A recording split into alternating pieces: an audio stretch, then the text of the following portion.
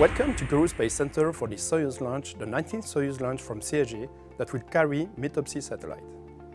METOP-C is the third satellite of the METOP series for our customer EUMETSAT, the European organization for the exploitation of meteorological satellites, through a launch services contract which has been signed in 2010. The two first METOP satellites, METOP A and METOP B, were launched successfully from Baikonur in 2006 and 2012. We started the launch campaign mid-June this year in order to target the launch in the second half of September. Due to its size, the components of METOP-C were delivered to French Guiana with three Antonov heavy cargo flights from Toulouse.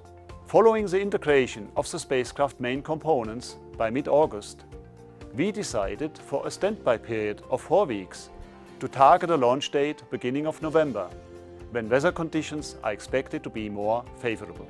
Following this launch, Arianespace and its partners will have contributed to put in orbit 20 meteorological satellites and 66 Earth observation satellites. With Arianespace and its Russian suppliers, EUMETSAT has chosen a very reliable partner to bring METOP-C into orbit. And with the first-class launch facility services provided from the teams here at the European Spaceport CSG.